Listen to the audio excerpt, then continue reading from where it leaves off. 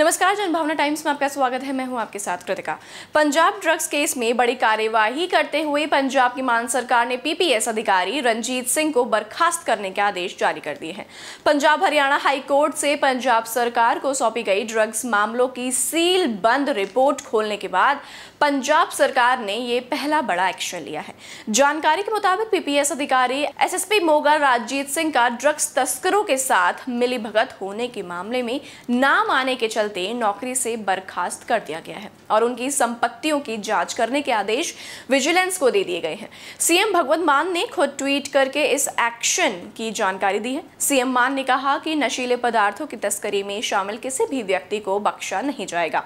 सीलबंद लिफाफों की रिपोर्ट की जाँच के बाद राजीत सिंह को मादक पदार्थों की तस्करी के मामले में नामित किया गया है और विजिलेंस की मनी लॉन्ड्रिंग कार्यवाही की जाँच के लिए तुरंत नौकरी से बर्खास्त कर दिया गया है।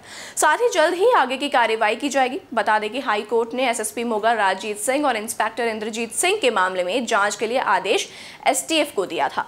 वहीं इस मामले में राजीत सिंह ने हाई कोर्ट में अर्जी दायर कहा था कि एसटीएफ प्रमुख हरप्रीत सिंह सिद्धू उनके मामले की निष्पक्ष जाँच नहीं करेंगे। हाईकोर्ट ने अधिकारियों को एसआईटी गठित करने और जाँच के आदेश दिए थे। जाँच कमेटी ने अपनी रिपोर्ट हाईकोर्ट को सौंपी थी। ड्रग्स केस में फंसे राजजीत सिंह और इंस्पेक्टर इंद्रजीत सिंह समेत अन्य अधिकारियों के खिलाफ एसआईटी ने जाँच के बाद 2018 में हाई कोर्ट में सील बंद रिपोर्ट सौंपी थी। तो और भी ऐसी वीडियोस को देखने के लिए आप जुड़े रीजन भावना टाइम्स के साथ। नमस्कार।